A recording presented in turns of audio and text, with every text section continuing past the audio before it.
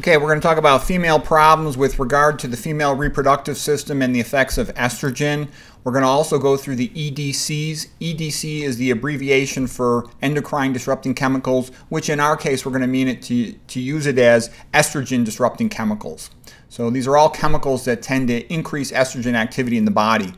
Um, estrogen, among other things, it's an obesogen. It causes a person to become fatter when estrogen levels are very high, like when a woman is pregnant, it tells her body to store weight because the baby might need that for energy. So high exposure to estrogen tends to make a person fat.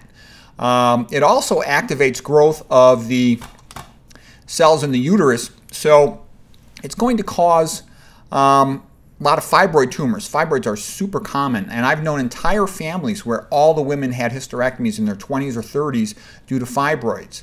Um, and my best guess is it's because they're all drinking tap water, so there's a lot of estrogenics in, in most uh, tap water.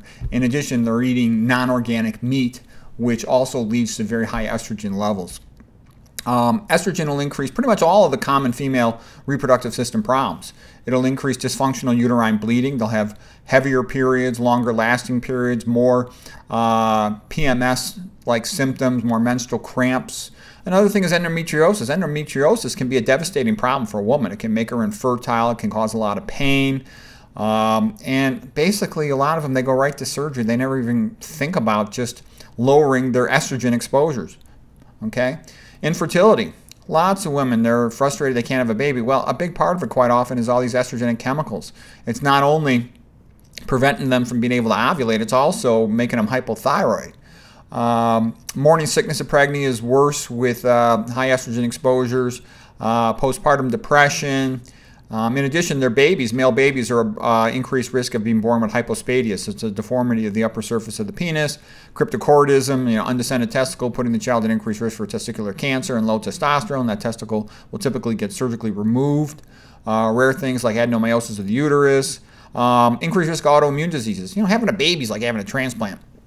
So it's going to decrease the reactivity of the immune system in some ways, but in other ways, it almost makes it a little schizophrenic. It's going to increase activity of the immune system, such that women have a lot more autoimmune diseases than men do. Um, postmenopausal, it increases the risk of a woman having hot flashes. And so, like, you know, in Japan, where they're eating all the rice and whatnot, they didn't even have a word for postmenopausal hot flashes before the 1970s uh, because the transition into menopause was mostly just no longer having periods. But now that they're becoming westernized, they're having all more of these problems. You know, like my wife's postmenopausal with hot flashes, and so it leads to disagreements on the thermostat. I always want the house a lot hotter, you know. So I'm quite fine with her. Go to your friend's house, you know, and I can turn the heat up, especially if I want to lift weights. I like the house hot. Being warm thins the blood. It, it makes your blood more like water, less like a milkshake, and that uh, I think that improves oxygenation of the tissues. And I know I think best. I like to be real warm when I'm reading or thinking. So I think there's something good about that. Okay, increased amount of benign breast masses like fibrocystic disease, and of course the big the big one is breast cancer. So increased estrogenic exposure increases the risk of getting breast cancer because it stimulates proliferation of the breast ductal cells. And in a man, the equivalent of the breast is the prostate, so it increases the risk of prostate cancer. So this is highly relevant, avoiding all these estrogenics for a man and for a woman.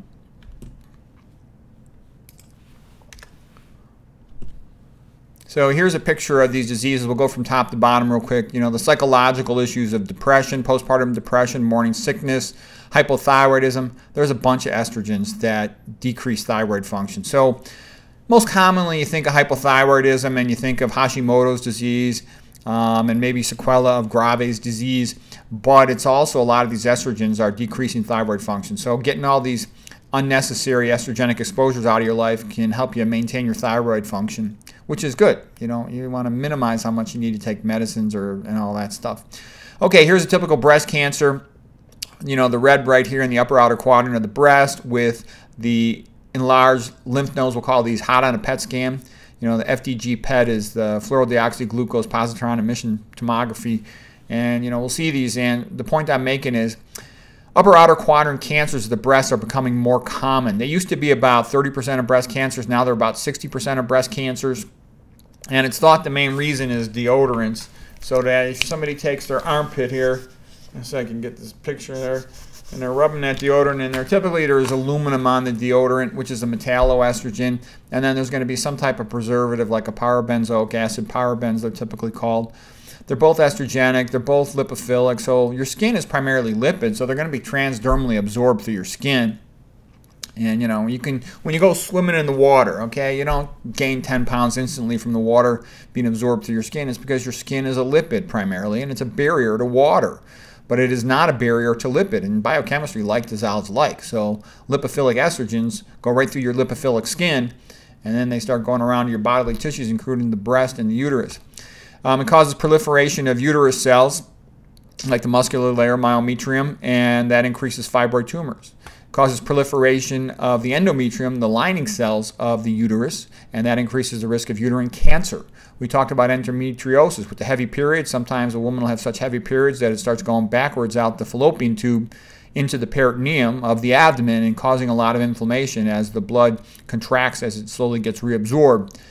And so there's been women who've, you know, just gotten all the estrogenic out of their life, become vegan, stop eating the meat, and their endometriosis has gone away. Doesn't happen in every one of them, but you know what? It's worth a try before you go for surgery. You know, surgery is a much bigger deal than changing your diet. You can end up with adhesions from surgery. It's no walk in the park. Okay, long, heavy periods, so that can lead to her being anemic. It can just lead to a lot of discomfort, some moodiness. Um, then she can get stuck taking iron sap, supplements, all kinds of things. So it's best to just get that under control. Um, we're going to talk about how to do that. And ovulation you know, what is a typical birth control pill? EE2, ethinyl estradiol. Well, high estrogens prevent you from ovulating because they make the body think it's pregnant. It doesn't need to ovulate. Okay, the goal of the uterus and the ovaries is to get you pregnant. If it thinks you're already pregnant, then you don't need to go down that path. Okay, and here's a baby, male baby. There'll be you know increased risk of deformities of the penis like hypospadia, uh, undescended testicle, which increases the risk of testicular cancer needs to come out. So the point I'm making is, in my experience, a lot of premenopausal females have, have tended to think this nutrition stuff is a big joke, this estrogen stuff is a big joke, who cares? And that's just a sign of being ignorant. It's very common. And what I'm trying to say is, I think a premenopausal woman should pay attention and care about all this stuff because, you know, they're probably going to want to have a baby at some time. And the healthier they are, the more likely their baby's going to be healthy. And then when they're postmenopausal, they got similar health risks as a man does. And what protects them while they're premenopausal is the menstruation. From that, it's like a monthly uh, uh, phlebotomy, and that lowers their blood viscosity, decreases the risk of atherosclerosis and whatnot. But and also breast cancer is something that can can get you even when you're in your 20s. So it's uh, pretty easy to minimize all these risk factors. In countries where they have minimal estrogenic exposures and they don't eat meat or hardly any meat, they have hardly any breast cancer, uterine cancer, any of this stuff.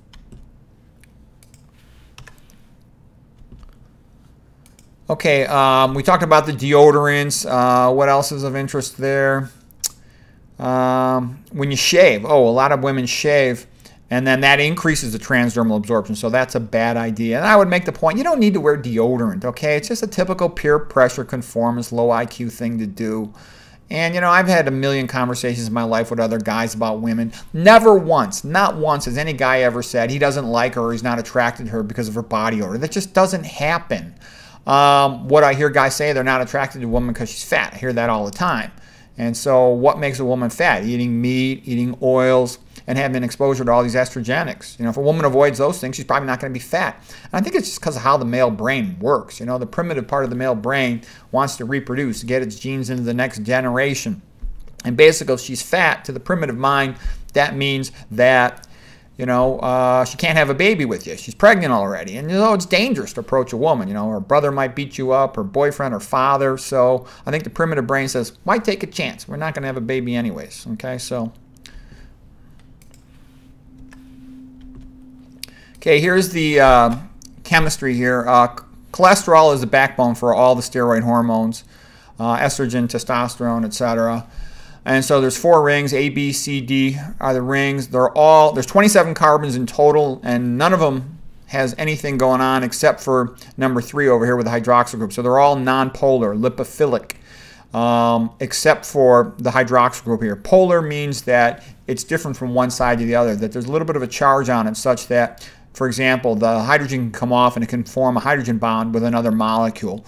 Um, it can it's more reactive and it's more likely to be uh, soluble in aqueous solution, a water-like solution. The body's uh, aqueous solution all over the place, um, other than within membranes, for example. Okay, so that's worth knowing that there's 27 carbons on cholesterol. Okay, estradiol, this is the most common form of estrogen. And so di means two, ol is alcohol group, so there's two alcohol groups. A hydroxy group and an alcohol group are the same thing. So here's OH, here's OH, diol. Okay, and then here's the aromatic ring. Aromatic ring is called aromatic because it has a, a pleasant smell typically. Um, and it's a benzene ring is the other name of it. And the relevance is that these double bonds are not in fixed locations. They move around, they resonate, so to speak, such that the electrons uh, related to these carbons can actually run around through all six of these carbons. And that causes incredible stability. You could leave a chemical with a benzene ring and a hydroxyl group on there. This combination is called a phenol, by the way. It'll sit on a shelf for four years and not change. And then the hydroxyl group is antimicrobial. So it's the perfect preservative. It's got great shelf life and it's got good antimicrobial properties. So what that means is these estrogen-like preservatives, they're in everything. You can't get away from them. They'll never go away because even if one of them gets banned, the company will just make a variant on it and it'll be back in there next week. So you can forget about changing the world and changing the, the chemist, chemicals that are out there. All you can do is learn what they are and avoid them.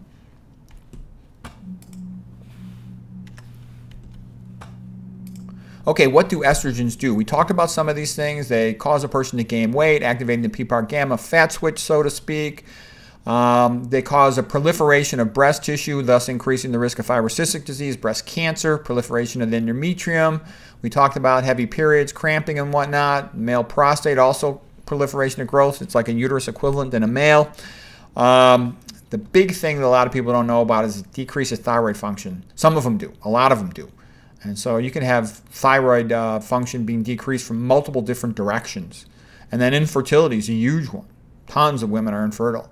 A lot of times infertility in a woman is because I see all these women, they're hyper motivated to get their, you know, educations and their degrees.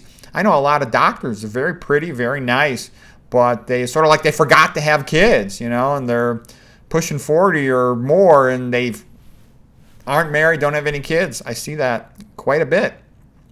They're very nice, very pretty ladies, and they're just uh, they're becoming sad, you know. And I know this one really stuck-up girl. She didn't want to have a kid. She wanted to do all these things. I actually dated her, but then that's partly why we broke up because I'm like, you know, one of these days we got to have a family. If you don't want to have a family, then you know I'm gonna find another woman. Um, okay, um, disrupts immune function. Uh, let's see, what else? Autoimmune disease, more common, increased risk of allergies. That's part of having increased allergies. Getting all these estrogenics out of your life uh, can potentially also help with allergies. They're prothrombotic. They increase the tendency to form blood clots. And um, they increase the risk of a deep vein thrombosis. And you see these sometimes. They're rare, but you see them sometimes, in, even in young women on birth control pills. Increased risk of myocardial infarction, like on a post-menopausal woman on estrogen replacement therapy. That's one of the risks of it. Um, elevated estrogen in males, because men are exposed to all these chemicals quite a bit, and they eat a lot of junk food and a lot of meat. And in men, it can cause gynecomastia, enlargement of the breast tissue, can cause you know obesity. And a big thing it causes, kind of a little bit unexpected, is it has a tendency to cause apathy in men. And, you know, there's a lot of male apathy. It's actually a real problem. Um, men are not as motivated, I don't think, as they used to be. Because, you know, for example, in colleges, the majority of students nowadays are women. It's at least 60% of the students in a college at an undergraduate level are females. You know, it used to be, you know, quite the opposite. Um, a lot of men, they're just not motivated. They want to sit around playing video games and eating junk food, getting fat. And then they're going to end up having to do a lot of work later to make up for that. Okay, BPA, bisphenol A. Um, this is a very common type of plastic. It can be used for other purposes. Most commonly, one thinks of it as a plastic uh, container or lining within a, let's say, a metal can. And one thing you got to watch out for, I'll show you a picture in just a moment here. Whenever something says no BPA, BPA free, that's really a joke because there's so many BPA substitutes that it probably still has BPA like estrogenic chemicals in it. Um, watch out for cans. Cans will have a let's say it's made out of aluminum, there'll be an inner lining of BPA, then you get a tear in the BPA, and you end up really with kind of a screw job. You've got the BPA chemical leaching into the food, plus because there's a tear in the BPA, you've got the aluminum from the can getting into the food too, and they're both uh, estrogens. Aluminum is a metalloestrogen. BPA, of course, is estrogenic. You know, the receipts that you get from a store, a thermal paper, just tell them to put it in the bag. You don't really want to touch it. Uh, polycarbonate plastics, there's a lot of things made out of that. Baby bottles used to be BPA, now they're BPA free. Um, glass is nice. You can get a glass with plastic wrapped around it uh, so the kid's not drinking the BPA. Don't ever heat it up in a microwave, of course, and melt the BPA into the, the child's drink. Um, water bottles, use glass. It can be in PVC pipes. Brominated BPA is a flame retardant. That's one thing to watch out for too. For example, for you know medical people, you know wear a surgical gown if it's appropriate for the procedure you're doing.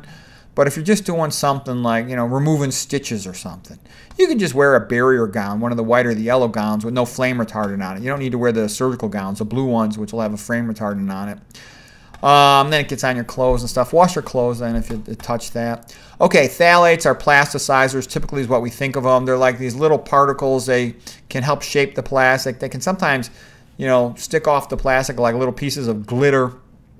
Um, you got to watch out because whatever you're drinking, if you're, you're, drinking water out of something, it'll maybe be made out of BPA and have plasticizer phthalates on it, and that gets into the, the food stuff, especially if it's lipophilic in any way. Like you never want oils in a plastic container. That's the worst because it's lipophilic oil next to a lipophilic plastic, and it's going to have a lot more phthalate getting into it. Um, a lot of water bottles are made out of phthalate, like you know polyethylene terephthalate, you know, PET. Phthalates are often present in fragrances, perfumes, or in vinyl floors, vinyl shower curtains, uh, plastic mattresses, you know, like a baby mattress and stuff. So you don't want that. Uh, phthalates are associated, of course, with causing obesity, asthma, allergies, and you got to watch out. They can cause potentially cognitive problems in kids too, attention deficit, and they seem to impair a little bit the function of brain-derived neurotrophic growth factor. And then the big thing, like I said, is this uh, thyroid dysfunction. Okay, here's a picture of what's going on with BPA, bisphenol A. So it's bis meaning two, and there's two phenol groups. So a benzene ring with a hydroxy group, that's a phenol group. Benzene ring with a hydroxy group. So there's a phenol on each side of it. Remember, all it takes is a benzene ring with this hydroxy group on it, a phenol, and that thing will interact with the estrogen receptor. The estrogen receptor, you know, for who knows how many years humans were around, uh, it had no competition. It just binded to estrogen, forms a hydrogen bond with this uh, oxygen here. But nowadays, there's all these chemicals that take advantage of that. So it's really kind of defenseless, that estrogen receptor. You have to protect your estrogen receptors by not putting all this crap on your body or in your body. Okay, and right here you got two methyl groups, you know, coming off the carbon right here in the middle between these two phenol groups on bisphenol A. So when the company says, oh, we've banned bisphenol A, we don't use it anymore, they're just going to use something like BPS. Sorry that the other half of this is covered, but basically it's the same thing as BPA, except they put a sulfate right in the middle. Whoop-de-doo. It still has uh, estrogenic activity from the phenol group on both ends of it. So don't ever think that companies are going to get rid of these things. They're going to be there forever. These, these chemicals are worth billions of dollars. Okay, triclosan is uh, an estrogenic chemical found in a lot of soaps and shampoos, uh, dishwashing soap. I don't even use shampoo anymore. I saw this video and this guy was saying how you don't need shampoo, you just wash your hair, you wash the oils out, well, you wash the natural chemicals out of your hair and then you put them back in with something else. And he, says, he said there's no point. So I started trying it. I've not washed my hair in three weeks. I can't tell the difference. And I kind of like it that way because I wanted to be careful about what shampoo I use on my head, so I got like newborn baby shampoo. They got to test it on a newborn baby because they don't want the baby to die, and newborn baby is kind of fragile. But even still, with a newborn baby shampoo, there were two estrogenics in it. So I would only use one squirt, one squirt, and I would only use it in the morning if I had to go to work that day. But now I don't even use it on any day. I don't use any any of this shampoo. I just you don't need shampoo, okay? You know, I keep my hair short. You know, maybe if you got real long hair, I don't got any hair on the top here, so don't matter so much. But shampoo is quite overrated. Okay, so see how kind of progress we're making here. We're saving money. Now, don't have to waste money on shampoo. You don't need to waste money on deodorant. You don't need dishwasher soap. Okay, let's just finish up on the mouth here, though, and the triclosan related stuff. I don't even use toothpaste anymore. I'll brush my teeth with just a plain brush because I want to get off any biofilms in which bacteria can hide. But all the toothpaste has so many bad chemicals in them, I don't use any of them anymore. Um, and then the other thing is a typical stupid person will have mouthwash with triclosan in it. And the way that's totally stupid is they're basically going to ingest or absorb some of that estrogenic triclosan, for example, which is harmful to their body. And then simultaneously, they're going to wipe out the good bacteria in their mouth that help produce nitric oxide vasodilator. So it's like a double negative. You don't need mouthwash. Okay, a couple quick points about parabens, para benzoic acids. So the benz just means like a benzene ring. Think of it that way. Okay, that's a good way to explain it. Um, they're called p-hydroxy. They're in the para position. We'll talk about that in just a moment. We'll show you, see a picture of it. And uh, there's a lot of derivatives on there where they'll substitute little chemicals on it. And these basically are antimicrobial, especially against mold. You know, all these companies that make a product, they want it to sit on that shelf for four or five years until it gets sold, and they don't want it being returned to them because there's mold growing in it. And so it's going to be in just about everything. There's going to be some type of estrogen preservative in your deodorant, anything you could put on your body. Deodorant, sunscreens, cosmetics, you name it. Transdermally absorbed. We talked about it potentially of thyroid, causing thyroid dysfunction. Okay, here's the chemistry of the parabens. So basically, you have a benzene ring and you'll have a substituent on it. So that'll be the index substituent, and then the second substituents will be named relative to this one. Okay, that's a carboxylic acid. This is a benzene group, so it just gets called benzoic acid, having that on it. Now, the first position adjacent to the, the carboxylic acid is called the ortho position. The way I remembered is I've drawn this to look like a face, and O kind of looks like O for ortho kind of looks like an eye. So I put a little dot in the center of it. And so that's how you can remember the carbon adjacent to the carboxylic acid carbon is the ortho position. Down here lower is the meta position it's called. It's designated by the letter M. And I just remember it being like a mustache. Okay, see how this looks like a face? I drew a nose and a mouth on there. But the point is, this just makes it easier to remember. And then the para hangs down like a little beard. It projects outward. So the reason it'll be called para benzoic acid is because there's a hydroxyl group located opposite of the carboxylic acid. And these bens, they're in everything, okay? You're gonna you're gonna see them or something related to them all over the place. A lot of times they'll they'll put something else in there. Like if they put a methyl group on here, that'll be methyl benzoic acid. If they put an ethyl group, ethyl benzoic acid, that sort of thing.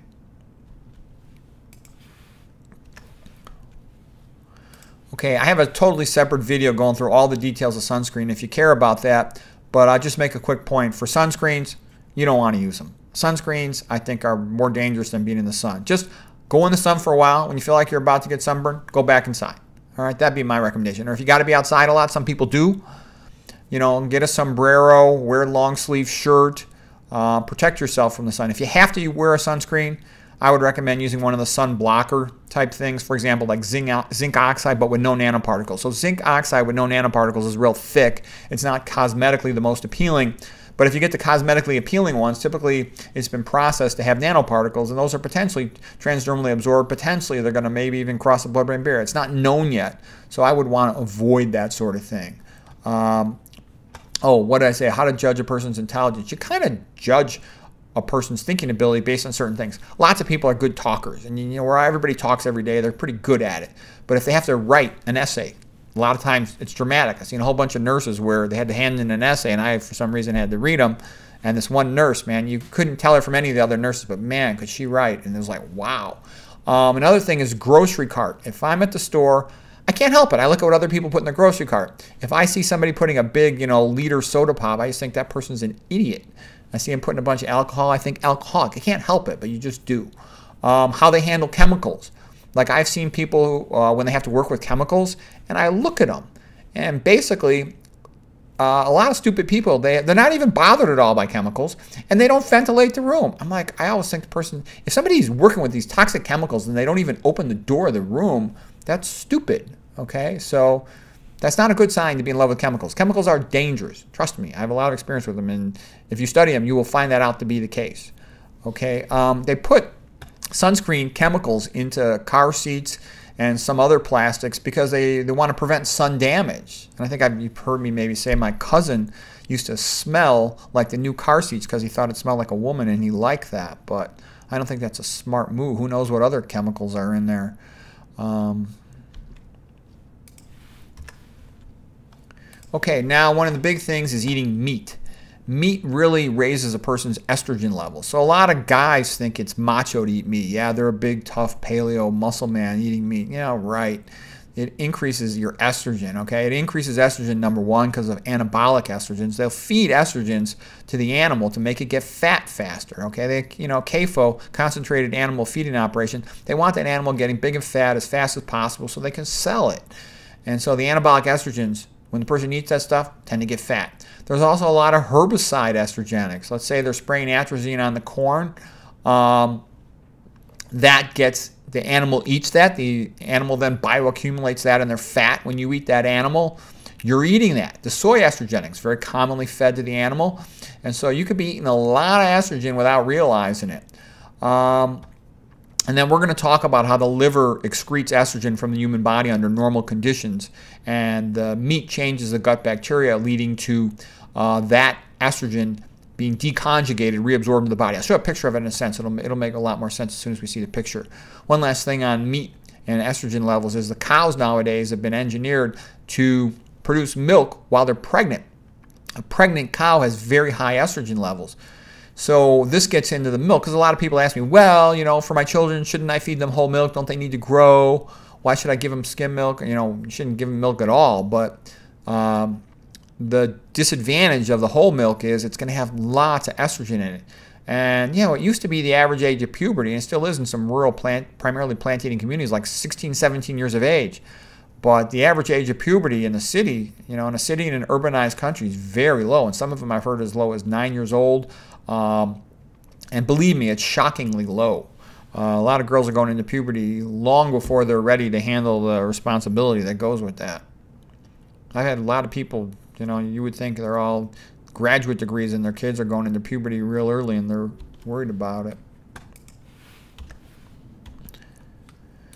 Okay, here's a picture of how estrogen is excreted from the human body. First of all, the estrogen or the estrogen-like chemical goes into the liver, and then this is phase one of detox. I put yellow in here to remind us of fat because it's a primarily a fat-soluble chemical initially and phase one of liver detoxification. And by the way, this is pretty standard for liver detoxification of lots and lots of different chemicals. Is that the relatively toxic lipid soluble chemical. First comes into the liver and it's hydroxylated by a cytochrome P450 type enzyme. Hydroxylation, to put a hydroxyl group on there, makes it more polar, makes it more water soluble. And then in the second phase, now I drew this line to separate phase 1 detoxification from phase 2 detoxification. They'll put even a bigger, more polar molecule on there, like a glucuronide. So this is glucuronidation. It's also called conjugation of the estrogen to make it further more water soluble, and then it's excreted into the bile. The bile is connected to the gallbladder as a storage form for bile, but the bile duct then connects with the bile, like the second part of the duodenum here.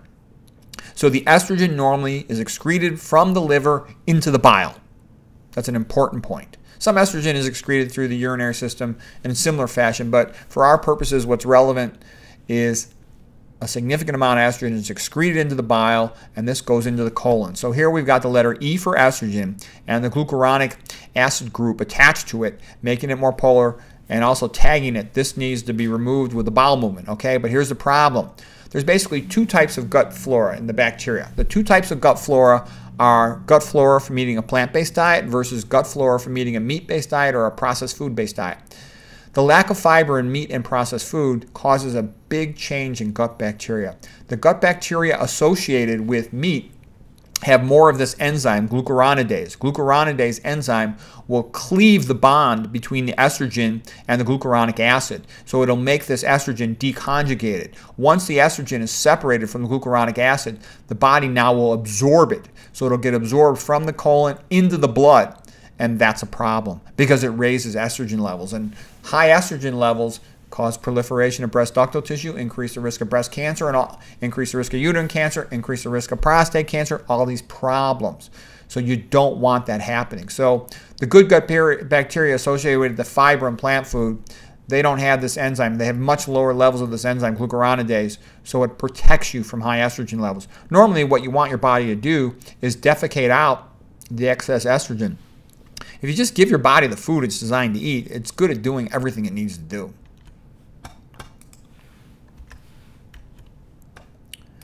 Okay, water estrogens. We talked about how tap water can be very high in estrogen. The reason is it's too expensive to remove all the estrogens in municipal water filtration. So they don't.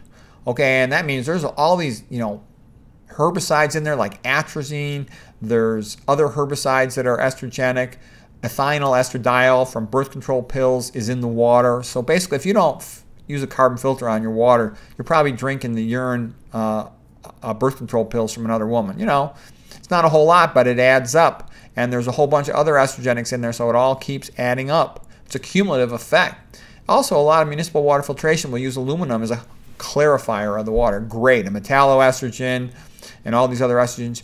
People can have extraordinarily high levels of these estrogenic chemicals. They find them routinely in women's and, and men in their blood, in their urine, in breast milk, the more you learn about it, the more you realize it's a disaster, all these estrogen chemicals. But again, once you know this stuff, it's real easy to avoid these.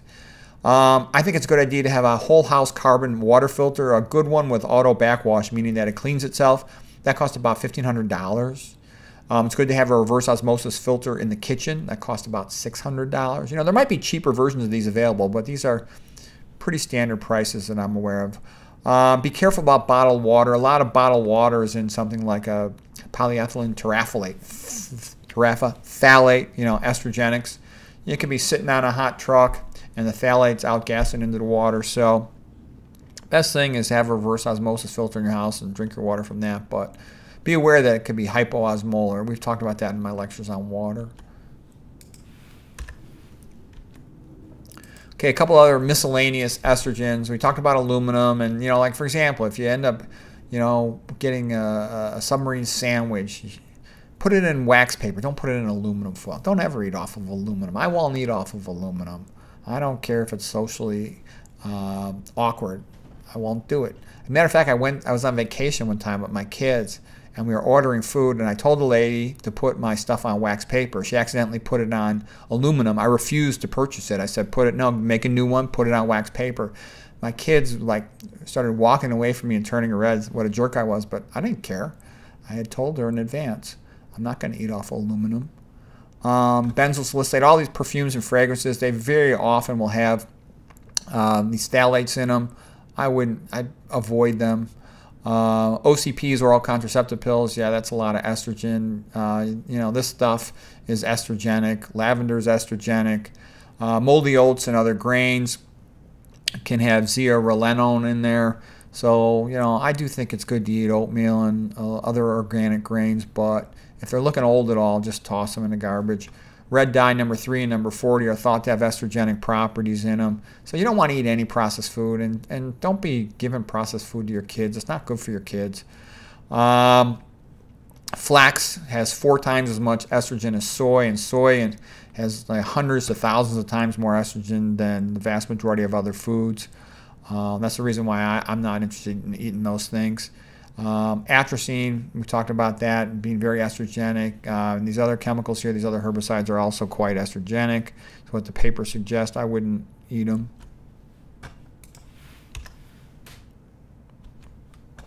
Okay, some thoughts on how to lower estrogen levels. I think the best thing, and I say this after a lot of thought, is you know be like Adam and Eve, but keep the benefits of indoor heating and indoor plumbing. All right, we don't need all these chemicals you really don't need them. Um, I don't use any deodorant. I don't put anything on my body. I, I, think I've said this before, but in my my wife and I got separate bathrooms. Okay, that's one of the secrets of getting along a husband and a wife. I have zero cosmetic products in my bathroom. I don't even use shampoo. Okay, I got this one soap that's like the clearest, least amount of chemicals in a soap, and I only use that because I have to. Um, nothing else. In my wife's bathroom, she's got like 55 chemicals.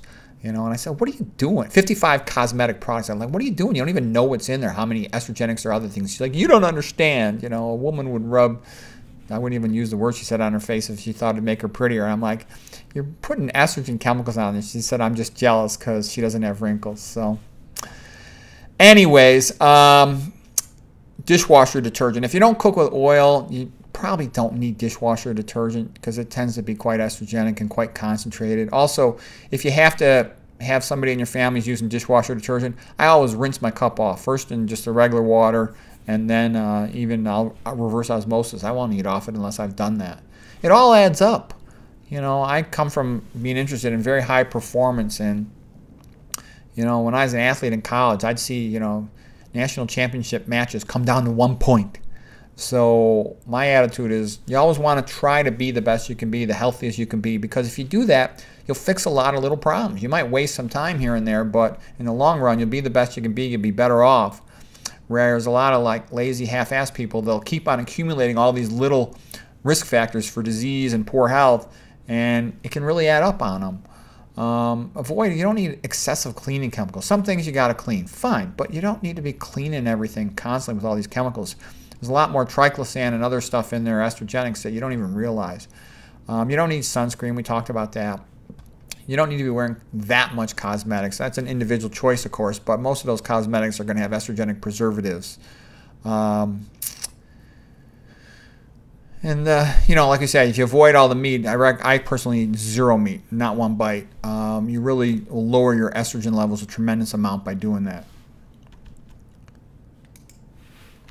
And then here's some references. So uh, I think Anthony Jay, his book Estrogeneration, is very good. That's the best way to introduce yourself to estrogen chemistry if you want to learn more than what I've talked about here. Um, he's got videos at his YouTube channel, uh, Dr. Anthony Jay. Uh, if you really want to learn about more of the intense biochemistry, Philippa Darbre, she's a lady researcher from England. She's done a ton of research on it. She's a real famous researcher. Her textbook is good. Here, I'll show you the pictures of it. So here's her textbook, Endocrine Disruption in Human Health. That is a textbook of estrogen uh, chemistry. It's a good book. Here's Anthony Jay's book, Estrogeneration. And this is a really good book. It's very funny and clever. He's a PhD biochemist, writes a lot about energy, about estrogen chemistry. This guy's book's pretty good too. This is more of a like a serious environmental estrogenic biochemistry because there's a lot of issues in water filtration and whatnot that are said. I almost went and became a biochemist, so I like biochemistry. I've got you know a little chapter on it in my book. Plus, you know who else is really good is Neal Barnard. He's got videos about more the clinical aspect, which a lot of people be interested in, um, of estrogen, how all these female-related diseases um, are associated with estrogen. He's especially going to emphasize the meat aspect of it, but uh, that's good too. And then if you look in these books, you'll find tons of research papers about it if you're interested in that. So anyways, hope this was helpful.